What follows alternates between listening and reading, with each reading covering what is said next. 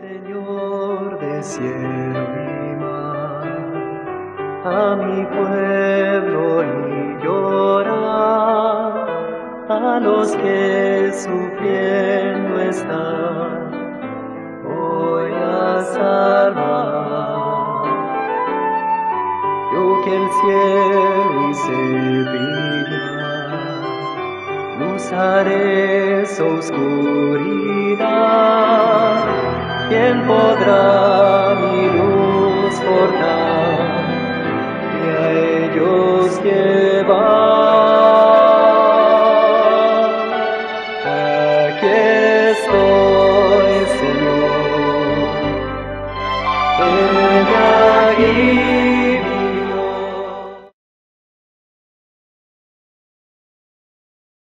Hermanos, apenas hace ocho días se nos presentaba un cuadro, un cuadro que nos dejaba una moraleja a todos y a cada uno de nosotros, que no hay que juzgar, que no hay que condenar.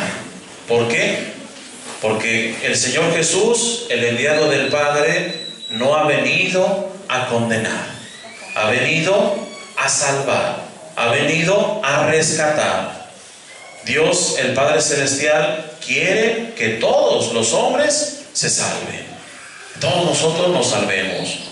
Por eso, ante las palabras de Jesús, Padre, perdónalos porque no saben lo que hacen, recordamos y no olvidamos que estamos en el año de la misericordia. Sean misericordiosos como vuestro Padre Celestial es misericordioso. Jesús, nosotros lo, sabemos por catecismo, que es verdadero hombre y verdadero Dios. Y como hombre, sin duda, sufrió. Por eso escuchamos en la segunda lectura que Cristo, siendo el Hijo de Dios, no se aferró a su condición divina, sino que se anonadó, se abajó, se humilló y por obediencia, y esa obediencia le llevó a la muerte, le llevó a la cruz. En pocas palabras, hermanos, es lo que hemos escuchado hoy en la pasión de nuestro Señor Jesucristo. Este programa que vamos a vivir durante esta semana. Ese Jesús que en algún momento le pusieron trabas. A ese Jesús, ¿verdad? Que en algún momento quisieron apoderarse de él. Que en algún momento lo quisieron matar. Pero hace ocho días decíamos, ¿verdad? Todavía no había llegado su hora. Pero se acerca la hora. Jesús nuestro Señor, ¿verdad? Está orando. Está orando. Y en esa oración, ¿verdad? Está sudando gotas de sangre. Y es muy significativa. Esta oración, estas palabras que Jesús dirige al Padre Celestial. Aparta de mí esta amarga prueba. Pero que no se haga mi voluntad, sino la tuya. ¿Por qué? Porque Jesús nuestro Señor. Vino a hacer la voluntad del Padre. Jesús les anunció a sus discípulos, voy a ir a Jerusalén. Voy a ser acusado por los sumos sacerdotes, por los escribas y por los fariseos. Me van a condenar, me van a matar, pero voy a resucitar. Voy a resucitar. Entonces esto para nosotros tiene que ser muy significativo, ¿verdad? Porque no queremos sufrimiento, no queremos dolor, no queremos enfermedad. Buscamos lo placentero, buscamos lo agradable. Que nosotros también le digamos al Señor, ¿verdad? Que no se haga mi voluntad, sino la tuya, ¿verdad? Que siempre estemos en ese ámbito o en ese ambiente, perdón, ¿verdad? De oración, donde ante el matrimonio, ante las enfermedades, Señor, que se haga tu voluntad, lo que tú quieras, lo que tú dispongas, porque va a ser para mi salvación y para hacer la voluntad del Padre Celestial. Vemos cómo Jesús nuestro Señor ha querido quedarse con nosotros. Y antes de padecer, va a celebrar la última cena. Vamos a celebrar la institución de la Eucaristía.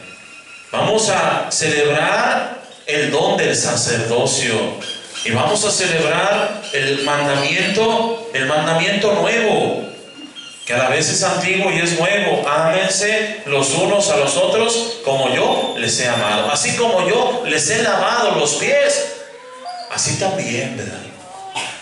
Los jefes los tiranizan, pero que no sea así entre ustedes. El que quiera ser el primero, que sea el último, que sea el servidor de todos. Hermanos, Jesús es aquel que da la vida, es el buen pastor, que da la vida por sus amigos, que da la vida por todos y cada uno de nosotros, de los hombres de ayer, de hoy y de siempre. Nosotros, ¿qué estamos dispuestos a hacer por Jesús?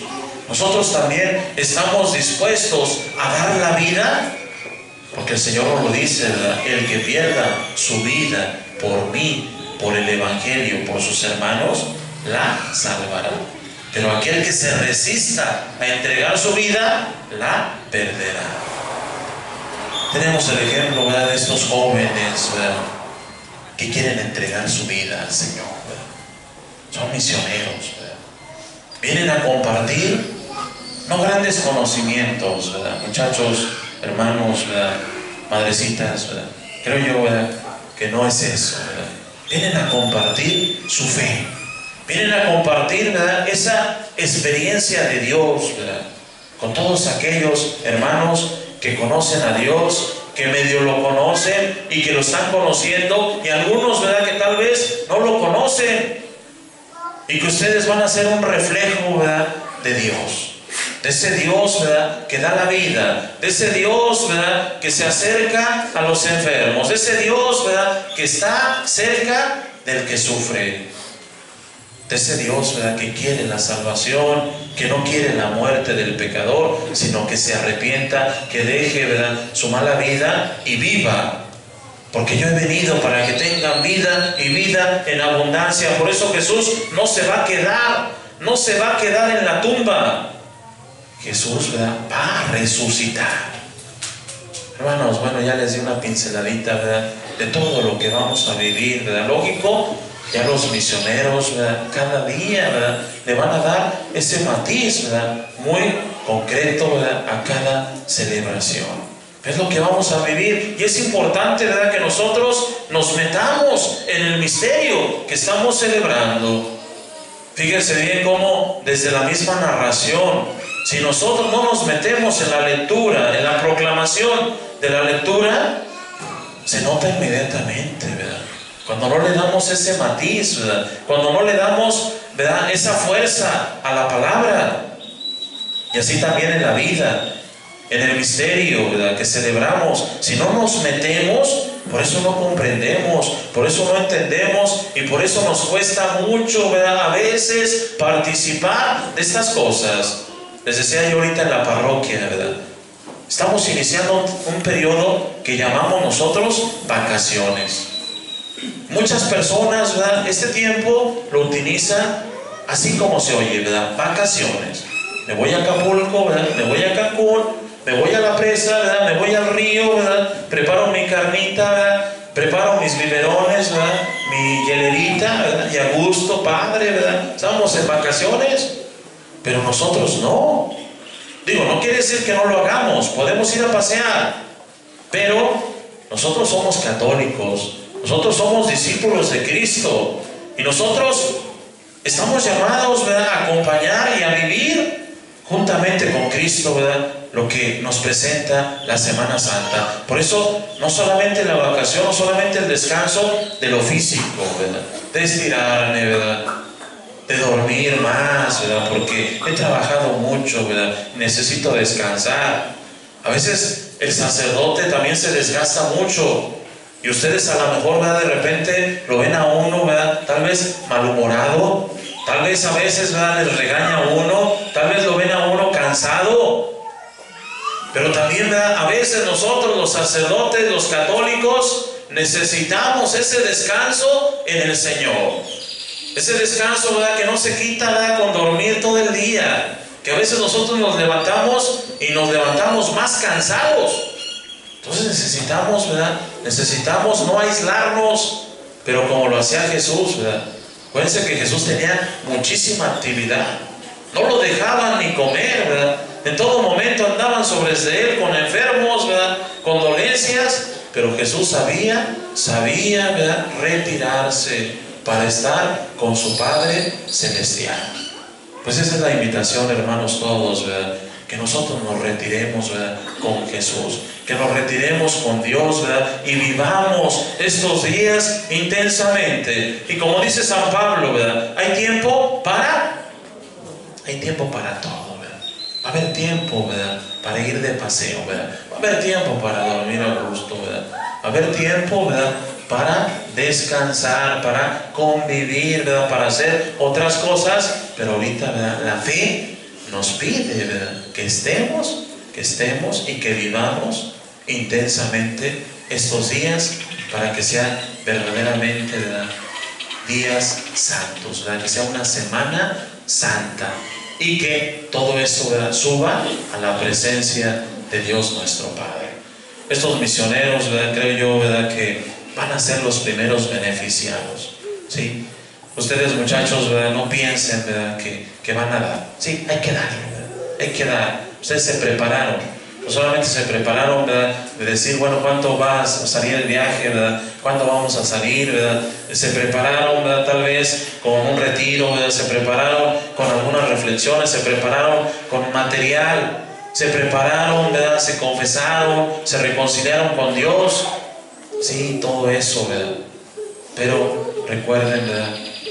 que hay que no solamente dar, pero también ¿verdad? hay que recibir.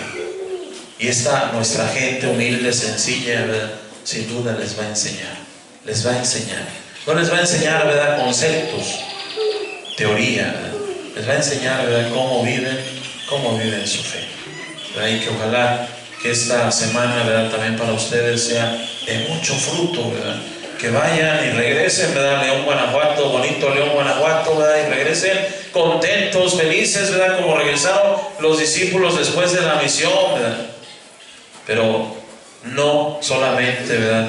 Por lo que nosotros hicimos, sino también, ¿verdad? Y principalmente por lo que nosotros recibimos de toda esta nuestra gente. Que así sea. Que María Santísima, nuestra Madre, interceda, ¿verdad? Para que Así sea. Solo el amor me impulse a obrar. Quiero ser prenda de caridad para animar, servir y consolar. Y que ese amor mueva mi ser, que en todas las cosas me mueva por él, por más dolor que pueda padecer.